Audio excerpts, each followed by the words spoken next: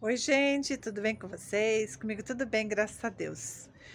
No vídeo de hoje, eu quero mostrar para vocês o que, que eu vou fazer com uma com uma cuia bem cheia de, de uma plantinha que se chama é, flor de mel.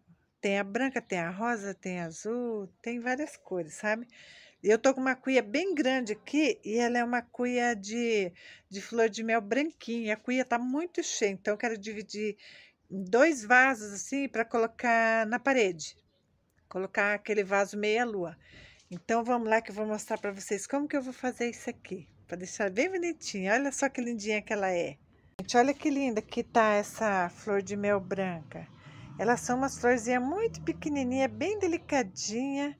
E tem um cheiro de mel puro, maravilhoso o cheirinho delas.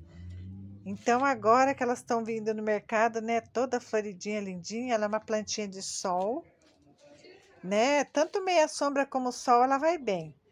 Então, olha só, gente, ela enche os vasos, né? Quando cresce bem.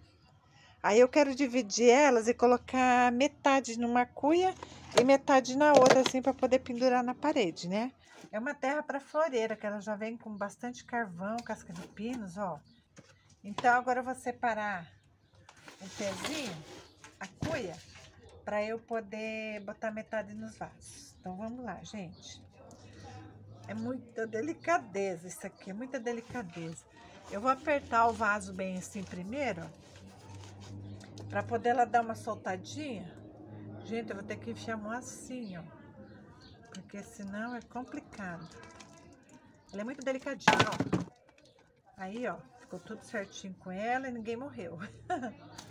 então, agora eu vou, eu vou partir bem aqui no meio, ó. Pra tirar uma metadinha para cada vaso. Dá pra separar aqui, ó, que dá pra ver os pezinhos delas aqui, ó. Então, dá pra separar bem legal aqui.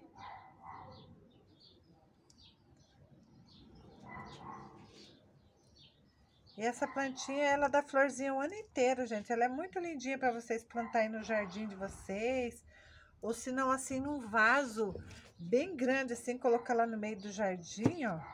Ela é muito bonitinha.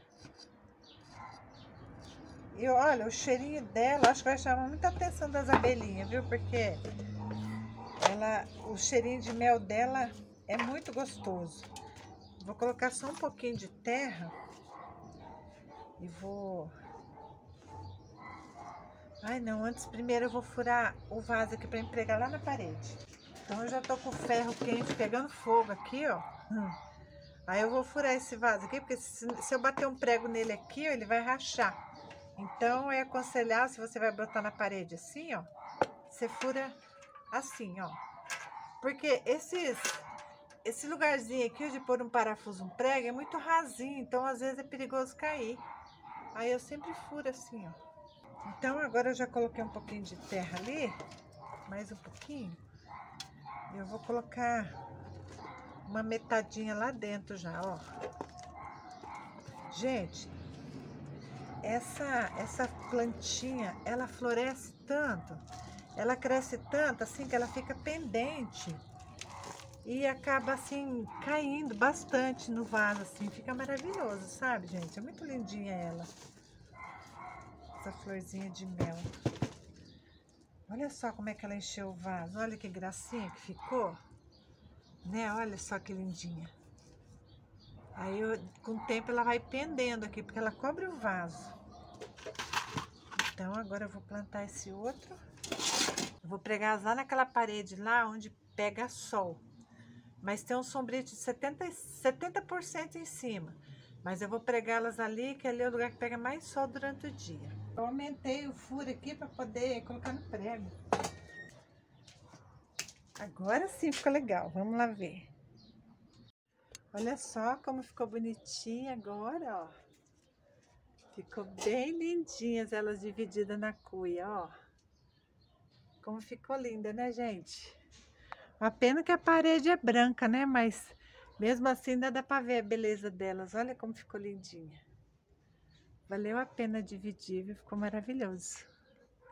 Então é isso aí. Agora ficou lindo e maravilhoso lá minhas florzinhas de mel. E agora vamos esperar elas ir crescendo, se não vender, né?